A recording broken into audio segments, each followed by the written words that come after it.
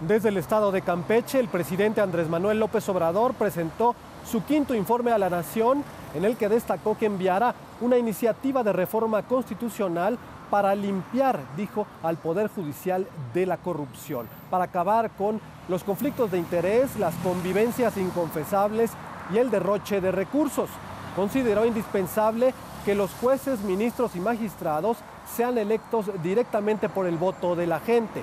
en materia de infraestructura, dijo que a partir de hoy, viernes 1 de septiembre, la refinería de Dos Bocas comenzará a producir petrolíferos y que hacia finales de año estará produciendo en promedio 290 mil barriles de gasolina diarios. También dijo que en noviembre volverá a volar la aerolínea mexicana de aviación que ahora pertenece al gobierno y que en diciembre comenzará a circular el tren Maya.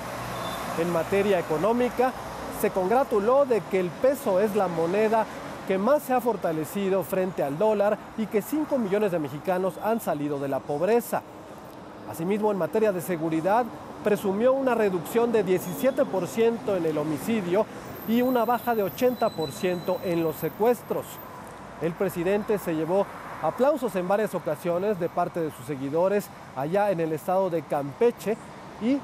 esto contrasta con la reacción de los partidos de oposición como el PAN, que en voz de sus dirigentes y diputados han dicho que han sido cinco años de retrocesos en distintas materias, que el país tiene más muertos que nunca y que se han incumplido promesas como la de regresar al ejército a los cuarteles y que el precio de la gasolina disminuiría.